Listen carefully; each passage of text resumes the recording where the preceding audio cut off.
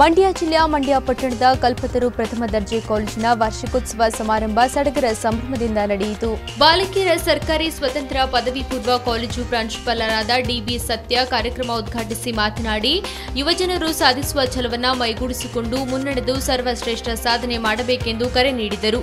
ಮಾತೃಶ್ರೀ ವಿದ್ಯಾಸಂಸ್ಥೆ ಅಧ್ಯಕ್ಷ ವಿಠಲಾಪುರ್ ಜಯರಾಮ್ ಕಾರ್ಯಕ್ರಮದ ಅಧ್ಯಕ್ಷತೆ ವಹಿಸಿದ್ದರು. ಕಾಲೇಜಿನ ಪ್ರಾಂಶುಪಾಲ ನಾಗೇಗೌಡ ಜಿಲ್ಲಾ ಗ್ರಂಥಾಲಯ ಪ್ರಾಧಿಕಾರದ ಸದಸ್ಯ ಕೆಆರ್ ನೀಲಕಂಠ ಮತ್ತಿತರರು ಮುಖ್ಯ ಅತಿಥಿಗಳಾಗಿ ಭಾಗವಹಿಸಿದ್ದರು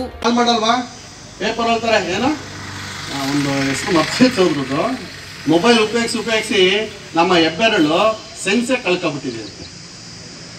ಸೆನ್ಸು. ಇನ್ನೊಂದು ಸ್ವಲ್ಪ ದಿವಸ ಹೋದ್ರೆ ಇನ್ಯಾವ ಕಳ್ಕೊತೀವೋ ನಮ್ಗೆ ಗೊತ್ತಿಲ್ಲ. ಆದ್ರಿಂದ ಮೊಬೈಲ್ ಯೂಸನ್ನು ಕಡಿಮೆ ಮಾಡಿ ಚೆನ್ನಾಗಿ ಓದಬೇಕಾಗತ್ತೆ. ಯಾಕೆ? ಓದು ನಮ್ಮನ್ನು ಉದ್ಧಾರ ಮಾಡುತ್ತೆ. ಓದು ಯಾವತ್ತೂ ಸಹ ಯಾರನ್ನೂ ಸಹ ಹಾಳು ಮಾಡಿಲ್ಲ. ಏ, ಒಂದು ಎಕ್ಸಾಂಪಲ್ ಇದೆಯಾ? ಸರ್, ನಾನು ಡಿಗ್ರಿ ಮಾಡಿದ್ದೀನಿ ಸರ್. ನಾನು ಎಂ ಎ ಮಾಡಿದ್ದೀನಿ ಸರ್. ಕೆಲಸ ಸಿಗಲ್ಲ ಸರ್. ಎಂ ಎ ಮಾಡಿದ ತಕ್ಷಣ ಬಿ ಎ ಮಾಡಿದ ತಕ್ಷಣ ಕೆಲಸ ಯಾರೂ ಸಹ ಕೊಡಲ್ಲ. ಇವತ್ತು ಮುಂಬರುವ ಲೋಕಸಭಾ ಚುನಾವಣೆಯ ನಂತರ ತಮ್ಮ ಪಕ್ಷ ಅಧಿಕಾರಕ್ಕೆ ಬಂದರೆ ರೆಫೇಲ್ ಜೆಟ್ ಅವ್ಯವಹಾರ ಪ್ರಕರಣವನ್ನು ತನಿಖೆಗೊಳಪಡಿಸಿ ಚೌಕಿದಾರ್ ಮೋದಿಯನ್ನು ಜೈಲಿಗೆ ಕಳಿಸಲಾಗುವುದು ಎಂದು ಕಾಂಗ್ರೆಸ್ ಅಧ್ಯಕ್ಷ ರಾಹುಲ್ ಗಾಂಧಿ ಹೇಳಿಕೊಂಡಿದ್ದಾರೆ.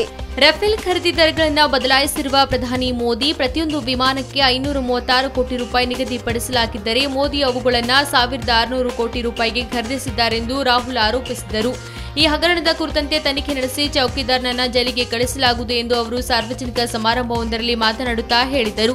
ಚೌಕಿದಾರರು ಯಾವುದಾದರೂ ಕಾರ್ಮಿಕನ ಮನೆ ಮುಂದೆ ಇದ್ದುದನ್ನ ನೀವು ನೋಡಿದ್ದೀರಾ? ಇಲ್ಲ, ಚೌಕಿದಾರೆಲ್ಲ ಅನಿಲ್ ಅಂಬಾನಿ ಮನೆ ಮುಂದೆ ಆತ ಕದ್ದಿರುವ ಹಣ ಕಾಯಲು ನಿಂತಿರುತ್ತಾರೆಂದು ವ್ಯಂಗ್ಯವಾಡಿದರು. ಈ ಬಾರಿಯ ಲೋಕಸಭಾ ಚುನಾವಣೆಯಲ್ಲಿ ಯಾವುದೇ ಪಕ್ಷ ಸ್ಪಷ್ಟ ಬಹುಮತ ಗಳಿಸುವುದಿಲ್ಲ. ಪ್ರಾದೇಶಿಕ ಪಕ್ಷಗಳಿಂದ ಪ್ರಧಾನಿ ಆಯ್ಕೆ ಆಗುತ್ತದೆ ಎಂದು ಸಮಾಜವಾದಿ ಪಕ್ಷದ ಪ್ರಧಾನ ಕಾರ್ಯದರ್ಶಿ ರಾಮ್ ಗೋಪಾಲ್ ಯಾದವ್ ಹೇಳಿದ್ದಾರೆ. ರಾಮ್ ಗೋಪಾಲ್ ಯಾದವ್ ಚುನಾವಣೆಯ ಬಳಿಕ ಪ್ರಧಾನಿಯಾಗುತ್ತಾರೆಂಬ ಬಗ್ಗೆ ಮಹತ್ವದ ಹೇಳಿಕೆ ನೀಡಿದ್ದು ಪ್ರಾದೇಶಿಕ ಪಕ್ಷಗಳಿಂದಲೇ ಪ್ರಧಾನಿ ಆಯ್ಕೆಯಾಗಲಿದ್ದಾರೆ ಬಿಜೆಪಿ ಕಾಂಗ್ರೆಸ್ ಅಧಿಕಾರ ಕಳೆದುಕೊಳ್ಳಲಿದೆ ಎಂದಿದ್ದಾರೆ. ಉತ್ತರ ಪ್ರದೇಶದಲ್ಲಿ ಕಾಂಗ್ರೆಸ್ ಪಕ್ಷಕ್ಕೆ ಯಾವುದೇ ವಿಶೇಷ ಪ್ರಾತಿನಿಧ್ಯ ಇಲ್ಲ. ಕಾಂಗ್ರೆಸ್ ಪಕ್ಷ ಬಿಎಸ್ಪಿ ಎಸ್ಪಿ ಮತ್ತು ಆರ್ಎಲ್ಡಿ ಮೈತ್ರಿಯೊಂದಿಗೆ ಕಾಂಗ್ರೆಸ್ ಯಾವುದೇ ಉತ್ತಮ ಕೆಲಸ ಮಾಡಲಿಲ್ಲ. ಹಾಗಾಗಿ ಈ ಬಾರಿ ಕಾಂಗ್ರೆಸ್ ಪಕ್ಷವನ್ನ ಮೈತ್ರಿಯಿಂದ ಹೊರಗಿಟ್ಟಿದ್ದೇವೆ. ಅಮೇಥಿ ಮತ್ತು ರಾಯ್ಬರೇಲಿ ಕ್ಷೇತ್ರಗಳನ್ನ ಮಾತ್ರ ಕಾಂಗ್ರೆಸ್ ಪಕ್ಷಕ್ಕೆ ಬಿಟ್ಟು ಕೊಟ್ಟಿದ್ದು ಎಸ್ಪಿ ಬಿಎಸ್ಪಿ ಅಭ್ಯರ್ಥಿಗಳನ್ನ ಕಣಕ್ಕಿಳಿಸಿಲ್ಲ ಎಂದಿದ್ದಾರೆ. ಕಣಿವೆ ರಾಜ್ಯ ಜಮ್ಮು ಮತ್ತು ಕಾಶ್ಮೀರದಲ್ಲಿ ಮತ್ತೊಮ್ಮೆ ಭಯೋತ್ಪಾದಕ ದಾಳಿ ನಡೆಯುವ ಸಾಧ್ಯತೆ ಇದೆ ಎಂದು ಗುಪ್ತಚರ ಇಲಾಖೆ ಎಚ್ಚರಿಕೆ ನೀಡಿದೆ. ಗುಪ್ತಚರ ಇಲಾಖೆ ಇತ್ತೀಚೆಗೆ ನೀಡಿರುವ ಮಾಹಿತಿಯ ಪ್ರಕಾರ ಪಾಕಿಸ್ತಾನ ಬೆಂಬಲಿತ ಉಗ್ರಗಾಮಿ ಸಂಘಟನೆ ಜೈಷ್ ಎ ಮೊಹಮ್ಮದ್ ಜಮ್ಮು ಕಾಶ್ಮೀರದಲ್ಲಿ ಮತ್ತೊಮ್ಮೆ ದಾಳಿಗೆ ಪ್ರಯತ್ನಿಸುತ್ತಿದ್ದು, ಕಣಿವೆ ರಾಜ್ಯದಲ್ಲಿ ದಾಳಿ ನಡೆಸಲು ಐಎಸ್ಐ ಸೇರಿದಂತೆ ಮೂರು ಭಯೋತ್ಪಾದಕ ತಂಡಗಳನ್ನು ಸೃಷ್ಟಿಸಿದೆ ಎನ್ನಲಾಗಿದೆ. ಈ ವಾರದಲ್ಲಿ ಭಯೋತ್ಪಾದಕರು ದಾಳಿ ನಡೆಸುವ ಸಾಧ್ಯತೆ ಇದೆ ಎನ್ನಲಾಗಿದೆ. ಇದಕ್ಕಾಗಿ ಪಾಕಿಸ್ತಾನ ಭಯೋತ್ಪಾದಕರಿಗೆ ಸಹಾಯ ಮಾಡುತ್ತಿದ್ದು, ಉಗ್ರರು ಏಪ್ರಿಲ್ ಐದರಿಂದ ಏಪ್ರಿಲ್ ಒಂಬತ್ತರ ನಡುವೆ ಯಾವುದೇ ವೇಳೆ ಜಮ್ಮು ಕಾಶ್ಮೀರದಲ್ಲಿ ದೊಡ್ಡ ಭಯೋತ್ಪಾದಕ ದಾಳಿ ನಡೆಸಬಹುದು ಎಂದು ಮಾಹಿತಿ ತಿಳಿದು ಬಂದಿದ್ದು ಈ ಹಿನ್ನೆಲೆಯಲ್ಲಿ ಸೇನೆ ಮತ್ತು ಭದ್ರತಾ ಪಡೆಗಳನ್ನು ಅಲರ್ಟ್ ಆಗಿರುವಂತೆ ತಿಳಿಸಲಾಗಿದೆ. ಕಾಂಗ್ರೆಸ್ ಅಧ್ಯಕ್ಷರ ವಿರುದ್ಧ ವೈನಾಡು ಕ್ಷೇತ್ರದಿಂದ ಮತ್ತಿಬ್ಬರು ರಾಹುಲ್ ಗಾಂಧಿ ಕಣಕ್ಕೆ. ಕರ್ನಾಟಕದ ಮಂಡ್ಯದಲ್ಲಿ ಸುಮಲತಾ ಅಂಬರೀಶ್ ಅವರ ವಿರುದ್ಧ ಮೂವರು ಸುಮಲತಾ ಎಂಬುವರು ಕಲಬುರಗಿಯಲ್ಲಿ ಡಾಕ್ಟರ್ ಉಮೇಶ್ ಜಾಧವ್ ವಿರುದ್ಧ ಮೂವರು ಜಾಧವ್ ಉಪನಾಮದ ಮೂವರು ಅಭ್ಯರ್ಥಿಗಳು ಕಣಕ್ಕಿಳಿದಿದ್ದಾರೆ. ಇದೇ ಮಾದರಿಯಲ್ಲಿ ಕೇರಳದ ವೈನಾಡ್ ಲೋಕಸಭಾ ಕ್ಷೇತ್ರದಲ್ಲಿ ಕಾಂಗ್ರೆಸ್ ಅಧ್ಯಕ್ಷ ರಾಹುಲ್ ಗಾಂಧಿ ವಿರುದ್ಧ ರಾಹುಲ್ ಗಾಂಧಿ ಹೆಸರಿನ ಮತ್ತಿಬ್ಬರು ಅಭ್ಯರ್ಥಿಗಳಾಗಿ ಸ್ಪರ್ಧಿಸಿದ್ದಾರೆ. ವಯನಾಡು ಕ್ಷೇತ್ರದಿಂದ ರಾಹುಲ್ ಗಾಂಧಿ ಕೆಇ ಮತ್ತು ರಾಹುಲ್ ಗಾಂಧಿ ಕೆ ಹೆಸರಿನ ಮತ್ತಿಬ್ಬರು ಅಭ್ಯರ್ಥಿಗಳು ನಿನ್ನೆ ನಾಮಪತ್ರ ಸಲ್ಲಿಸಿದ್ದಾರೆ. ಪಕ್ಷೇತರ ಅಭ್ಯರ್ಥಿಯಾಗಿ ನಾಮಪತ್ರ ಸಲ್ಲಿಸಿರುವ ರಾಹುಲ್ ಗಾಂಧಿ ಕೆಇ ಏರುಮಲೆ ನಿವಾಸಿಯಾಗಿದ್ದು ಕೇರಳ ವಿವಿಯ ಸಂಶೋಧನಾ ವಿದ್ಯಾರ್ಥಿಯಾಗಿದ್ದಾರೆ. ರಾಹುಲ್ ಗಾಂಧಿ ಕೆ ಎಂಬುವರು ಅಖಿಲ ಭಾರತ ಮಕ್ಕಳ ಘಟಕದ ಅಭ್ಯರ್ಥಿಯಾಗಿ ನಾಮಪತ್ರ ಸಲ್ಲಿಸಿದ್ದಾರೆ. ವಯನಾಡು ಲೋಕಸಭಾ ಕ್ಷೇತ್ರದಲ್ಲಿ ಇಪ್ಪತ್ತೈದು ಅಭ್ಯರ್ಥಿಗಳು ನಾಮಪತ್ರ ಸಲ್ಲಿಸಿದ್ದಾರೆ. ನ್ಯಾಯಮೂರ್ತಿ ಎಜಿ ಸದಾಶಿವ ಆಯೋಗದ ವರದಿ ಜಾರಿಗೊಳಿಸುವಲ್ಲಿ ಕಾಂಗ್ರೆಸ್, ಬಿಜೆಪಿ ಹಾಗೂ ಜೆಡಿಎಸ್ ಮೂರು ಪಕ್ಷಗಳು ನಿರ್ಲಕ್ಷ್ಯ ವಹಿಸಿದ್ದು, ಇದರಿಂದ ಮಾದಿಗ ಸಮಾಜಕ್ಕೆ ಅನ್ಯಾಯವಾಗಿದೆ. ಪ್ರಸಕ್ತ ಚುನಾವಣೆಯಲ್ಲಿ ಸಮಾಜದ ಜನರು ಜಾಗೃತರಾಗಿ ಈ ಮೂರು ಪಕ್ಷಗಳ ವಿರುದ್ಧ ಮತ ಚಲಾಯಿಸಬೇಕು ಎಂದು ಮಾದಿಗ ದಂಡೋರ ಹೋರಾಟ ಸಮಿತಿ ತಾಲೂಕು ಘಟಕ ಒತ್ತಾಯಿಸಿದೆ. ಕಮಲಾ ರೆಸಿಡೆನ್ಸಿಯಲ್ಲಿ ನಡೆದ ಸುದ್ದಿಗೋಷ್ಠಿಯಲ್ಲಿ ಸಮಿತಿಯ ತಾಲೂಕು ಅಧ್ಯಕ್ಷ ಮಾರುತಿ ಲಾಡೆ, ಪ್ರಧಾನ ಕಾರ್ಯದರ್ಶಿ ನೀಲಕಂಠ ಭೆಂಡೆ, ಕಾರ್ಯದರ್ಶಿ ಶಿರೋಮಣಿ ನೀಲನೂರೆ ಹಾಗೂ ಗೌರವಾಧ್ಯಕ್ಷ ಸಂಜುಕುಮಾರ್ ಸಂಗನೂರೆ ಮಾದಿಗ ಸಮಾಜಕ್ಕೆ ಆಗಿರುವ ಅನ್ಯಾಯವನ್ನು ಬಿಚ್ಚಿಟ್ಟರು.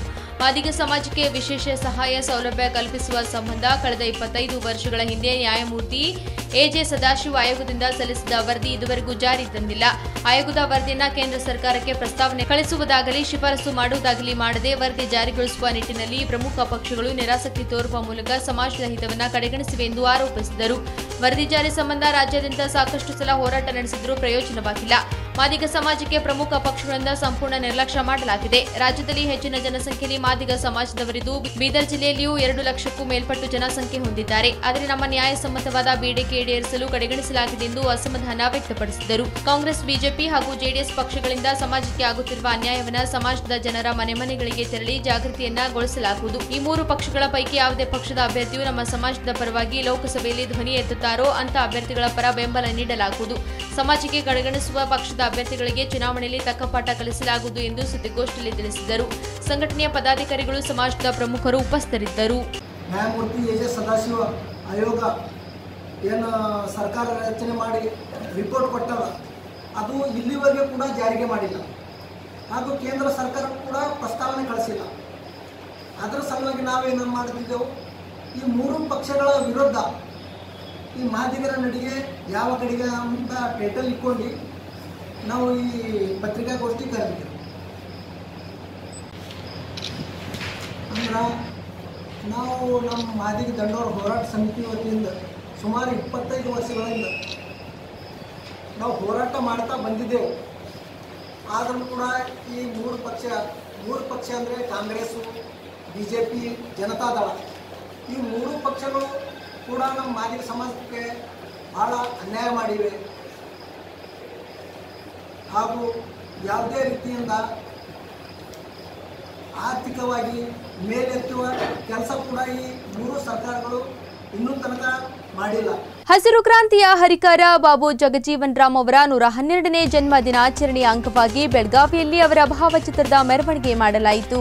ಕೆಲ ವರ್ಗದ ಜನರ ಹಸಿವನ್ನ ಇಂಗಿಸಲು ಹಸಿರು ಕ್ರಾಂತಿ ಮಾಡಿದ ಕೃಷಿ ಸಚಿವ ಡಾಕ್ಟರ್ ಬಾಬು ಜಗಜೀವನ್ ರಾಮ್ ಅವರ ನೂರ ಹನ್ನೆರಡನೇ ಜನ್ಮ ದಿನಾಚರಣೆಯ ಅಂಗವಾಗಿ ಜಿಲ್ಲಾಡಳಿತ, ಜಿಲ್ಲಾ ಪಂಚಾಯತ್ ಮತ್ತು ಮಹಾನಗರ ಪಾಲಿಕೆ ಹಾಗೂ ಸಮಾಜ ಕಲ್ಯಾಣ ಇಲಾಖೆ ಸಂಯುಕ್ತ ಆಶ್ರಯದಲ್ಲಿ ಇಂದು ಭಾವಚಿತ್ರ ಮೆರವಣಿಗೆ ನಗರದ ಜಿಲ್ಲಾಧಿಕಾರಿ ಕಚೇರಿಯಿಂದ ಪ್ರಾರಂಭಿಸಿ ರಾಣಿ ಚೆನ್ನಮ್ಮ ವೃತ್ತದ ಮಾರ್ಗವಾಗಿ ಡಾಕ್ಟರ್ ಬಾಬು ಜಗಜೀವನ್ ರಾಮ್ ಉದ್ಯಾನವನದ ಮೆರವಣಿಗೆಯನ್ನ ಮಾಡಲಾಯಿತು. ಬಳಿಕ ಉದ್ಯಾನವನದಲ್ಲಿ ಕಾರ್ಯಕ್ರಮವನ್ನ ಹಮ್ಮಿಕೊಳ್ಳಲಾಯಿತು. ಕಾರ್ಯಕ್ರಮದಲ್ಲಿ ಉಪಸ್ಥಿತರಿದ್ದ ಗಣ್ಯರು ದೀಪ ಬೆಳಗಿಸುವ ಮೂಲಕ ಸಮಾರಂಭವನ್ನು ಉದ್ಘಾಟಿಸಿ ಡಾಕ್ಟರ್ ಬಾಬು ಜಗಜೀವನ್ ರಾಮ್ ಅವರ ಭಾವಚಿತ್ರಕ್ಕೆ ಪುಷ್ಪ ನಮನ ಸಲ್ಲಿಸಿ ಬಳಿಕ ಜಗಜೀವನ್ ರಾಮ್ ಅವರ ಜೀವನ ರಾಜಕೀಯ ನಡೆ ಅಸ್ಪೃಶ್ಯರಿಗಾಗಿ ಮತ್ತು ಬಡವರಿಗಾಗಿ ಅವರು ನಡೆಸಿದ ಕ್ರಾಂತಿಗಳ ಬಗ್ಗೆ ಉಪನ್ಯಾಸ ಮಾಡಲಾಯಿತು. ಈ ಸಂದರ್ಭದಲ್ಲಿ ಸಮಾಜ ಕಲ್ಯಾಣ ಇಲಾಖೆ ಜಂಟಿ ನಿರ್ದೇಶಕ ರಾಮನಗೌಡ ಕನ್ನೊಳ್ಳಿ ಪಾಲಿಕೆ ಆಯುಕ್ತ ಇಬ್ರಾಹಿಂ ಮೈಗೂರ್, ಜಿಲ್ಲಾ ಪರಿಶಿಷ್ಟ ವರ್ಗಗಳ ಕಲ್ಯಾಣಾಧಿಕಾರಿ ಸದಾಶಿವ್ ಬಡಿಗೇರ್ ಹಾಗೂ ಉಪನ್ಯಾಸಕರಾಗಿ ರಾಣಿ ಚೆನ್ನಮ್ಮ ವಿಶ್ವವಿದ್ಯಾಲಯದ ಪ್ರೊಫೆಸರ್ ಪ್ರಕಾಶ್ ಕಟ್ಟಿಮನಿ ಸೇರಿದಂತೆ ಇನ್ನಿತರರು ಭಾಗವಹಿಸಿದ್ದರು.